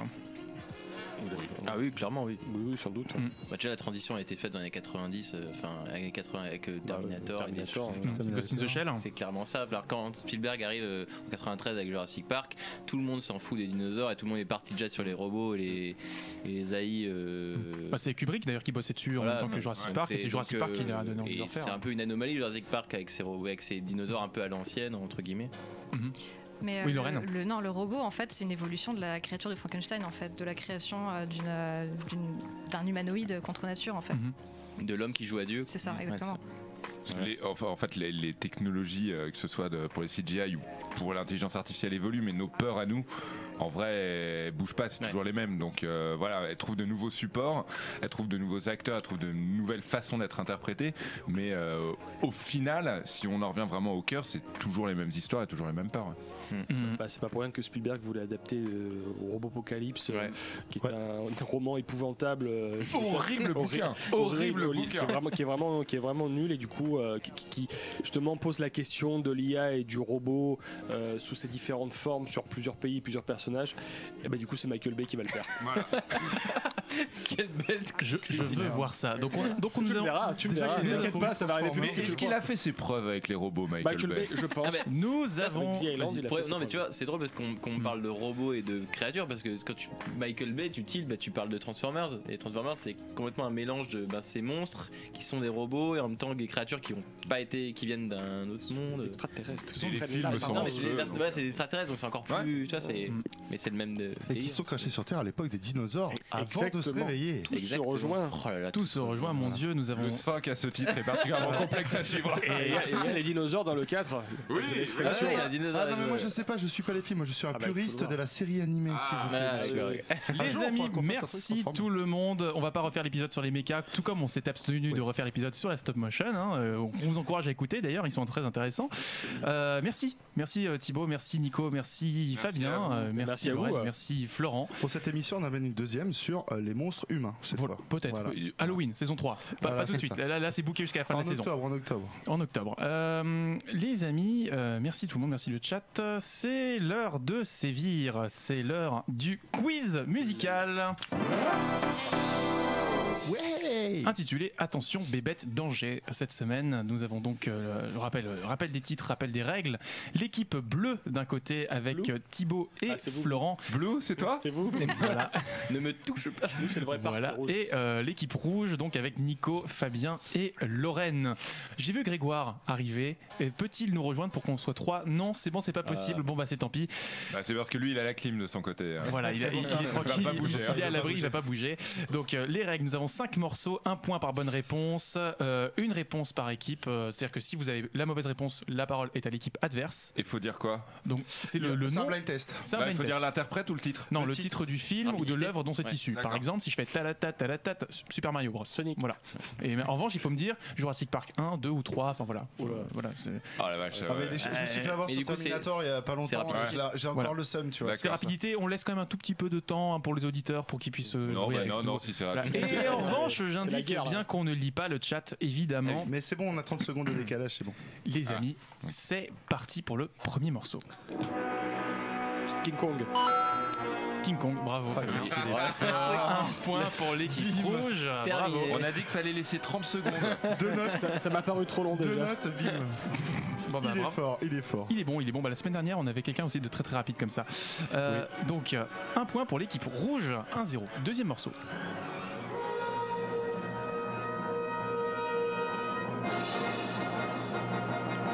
Ah, Vous euh, pouvez y aller. quelque chose Thibaut, on en avait parlé en amont de l'émission, en préparant l'émission. Les maîtres de l'univers. Non, pas du tout. L'équipe bleue, vous avez la parole. Alors là, on peut laisser passer le temps. Ouais. À la release partie du, du livre, on en avait parlé très rapidement. Tu, c'est toi-même qui l'avais mis Ah sur la là. table Ah, mais il était ivre mort. pendant que tu finissais ton, ton artichaut. Artichaut. Quelle belle soirée. Non, je l'ai pas, putain. je Tu Bon. ne l'as pas Oh L'équipe rouge On peut réessayer Allez-y. Non, je sais pas dire un truc. moi, je- Non, tu veux pas dire un truc Euh, Qu'est-ce qu'on pourrait dire vais On peut dire ce qu'on veut. À euh, part que c'est un John Williams euh, like, euh, je Ouais, avec, ouais, euh, c'est bien John Williams like, ouais. C'est c'est un jeu sorti sur PS2. C'est Starfighter. Ce n'est pas Starfighter équipe bleue. Un jeu sorti sur PS2 qui a eu un dernier épisode sur PS4 il y a pas longtemps. C'est édité God par. Shadow of the Colossus Non Euh. Équipe rouge. C'est. Monster Hunter. Et je t'ai vu Nico, tu as dû le chat. Qu'est-ce qu'il est fort Je donne le point à l'équipe bleue, c'est de la triche. Voilà. Ah bah écoute, le grand Miam a parlé. Ah, c'est beau. Euh, C'est le beau. grand Miam, Euh, on l'embrasse très fort évidemment, euh, où qu'il soit et s'il nous regarde. Ah, euh, Ouais, mais les musiques sont pas très marquantes dans Un Monster Hunter. Non, c'est vrai. Putain, C'est John Williams quand même. Très John Williams effectivement. Troisième morceau. Bravo, c'est le générique de Attack on Titan. Guren no Yumiya. Je suis fan de ce genre, c'est n'importe quoi le- la musique là. Effectivement. C'est du métal épique, euh, je sais pas, c'est n'importe quoi. C'est des, J'adore japonais, c'est des japonais qui se prennent pour Rammstein avec C'est des ça, chœurs et tout. Avec et- des chœurs et des trucs dans les églises, ils sont So- complètement so- fous. Sonata Arctica un peu. Ouais, Voilà, sont- C'est- ça rappelle des bons souvenirs de collège, tout ça. Euh, donc 2-1 pour l'équipe bleue. Trois- euh, quatrième morceau, pardon. Alors là, on va reconnaître. Jurassic Park sur Super Nintendo. Oh là là Alors là. Alors là, là je, suis, je suis soufflé parce Quel que traumatisme d'enfance. La musique. Ces œufs, qu'est-ce que je les ai cherchés pendant Ah, mais là, 5 c'est ans, un moi. vrai trauma, quoi, parce que. Il sait. alors là, Ah non, mais il est horrible ce jeu. Ah, le jeu il est horrible. Il est horrible. Il n'y a pas un seul bon jeu Jurassic Park. Mr. Ground. Hmm. mais il faut, il faut noter quand même que c'est euh, les musiques des jeux Océan sur Super NES qui sont Ouais. quand même très très cool. Notamment la, la, la bande son de Waterworld. Euh, voilà. Tu te revois en RPG là en mode. euh, Ah là là. Attention, tu es en train de devenir un gif. Je dis ça comme ça, Nico. hein. C'est quand même Alors- quand même- Le suspense est à son compte, deux points de chaque côté. Je n'ai jamais vu ça en émission. On est parti pour le dernier morceau. Godzilla 98, pauvre Oh comme vous pas- j'ai même pas eu le temps de répondre. Il trop Non, mais ça, c'est la honte. Il est trop fort. C'était une des seules bonnes choses de ce film d'ailleurs. je le savais. Alors, tu Non, étais sûr de vouloir répondre à cette question Johnny euh, Rockway, c'était mieux. Ouais. C'est ah, c'est vrai qu'il y avait Jamie Rockway dans la bande Non, la BO, la BO, la BO était cool, mais tellement années 90. C'était vraiment l'époque. Je suis content qu'ils fassent plus ça aujourd'hui. C'est tellement pas Godzilla. Des BO où ils demandent à des groupes qui n'ont rien à voir avec le bordel euh, de venir chanter des chansons attends, qui n'ont rien à voir avec Attends, le c'est film. même pas des groupes, c'est Jimmy Ah, Page et- et Puff et Puff Daddy. Daddy. c'est exactement. genre les deux, les deux ensemble, tu fais. Non mais c'est moi je, je regrette C'est- ça c'est un peu fini je crois avec la trilogie Spider-Man de Sam Raimi où le Avec, 2 avait euh, encore une BO avec Nickelback et, Ah, Nickelback, le, le- le euh, premier, le premier, c'était pas fou. Hein. Evanescence enfin voilà les BO Ah non. des années 90 Alors, c'est quand même. C'est fini avec Will Smith à cause de Will Smith. Voilà c'est ça Ah, mais remarque qu'il y avait du Mos Def dans Blade 2, c'était très cool aussi. Hein. Non mais il y avait des choses cool Tu nous avais fait écouter ça d'ailleurs. euh, C'est vrai, trois fois. passage euh, pour euh, Guillermo del Toro. Bah écoutez, 3 points pour l'équipe Oh rouge. Bravo. Oh alors je vous en ai filé un là Bravo, bravo, bravo. Les amis, c'est l'heure des recommandations. En avez-vous?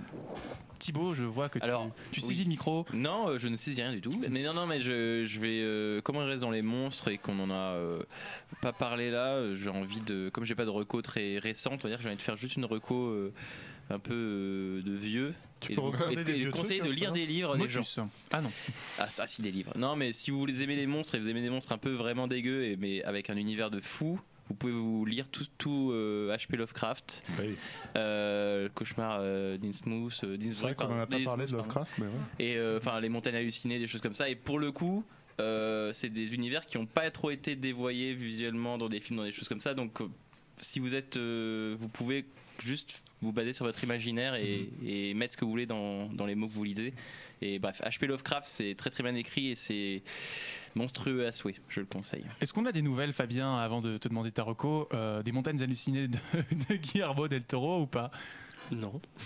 Merci. RIP. quasiment mort et enterré je crois hein. je crois que ça coûte une Ah, fortune et- Bah non, non, il développe euh, Ouais. des films à budget moindre pour euh, Fox Searchlight en ce Voilà. moment. On verra, on verra. Même, même, même si son deal avec DreamWorks aussi, il me semble. Bah, il a- j'espère, voilà. j'espère On qu'il va verra. le faire. On verra, on verra. Bah alors ta reco. Alors, euh, deux recos très rapides. Donc, euh, outre le livre de Nico, il y a aussi un hors-série Mad Movies euh, consacré à Jurassic Park qui est signé Alexandre Poncet, qui euh, analyse la franchise dans sa globalité avec donc euh, interview à la clé et euh, historique de la série en général. Donc, c'est très complémentaire au travail de Nico et c'est c'est passionnant. Euh, lisez aussi le bouquin Jurassic Park, le livre original de Michael Crichton, parce que euh, bon. c'est un un ouvrage excellent, c'est une autre vision de l'histoire, un autre, un autre regard, et c'est surtout une autre façon de rentrer dans l'univers, mais surtout ne lisez pas Le Monde Perdu, euh, donc la suite littéraire qui est pour le coup euh, horrible. Donc voilà. Très bien. Nico, quel est ta, quel est ta reco? Bah mon livre, hein. Déjà, qu'à je faire. pense, hein. Alors, je le remontre encore. C'est pas Je mal. le Non, non, non, euh, j'en ai un petit peu parlé tout à l'heure, mais euh, il a l'air très j'avais bien. pas, j'avais pas forcément prévu, euh, prévu de recommandations, mais euh, puisqu'on a parlé des monstres, encore une fois, quelques minutes après minuit, vraiment euh, avec euh, la voix de Liam Neeson qui, qui, qui, qui est, qui est incroyable, c'est, c'est, c'est un conte, c'est c'est de la poésie ce film, c'est euh, visuellement sublime. Ça tient la route du début jusqu'à la fin. Euh, on verse sa petite larme et euh, voyez-le et encouragez les gens à le voir parce que ça m'énerve un petit peu qu'un film aussi beau que celui-ci euh, passe à la trappe aussi facilement.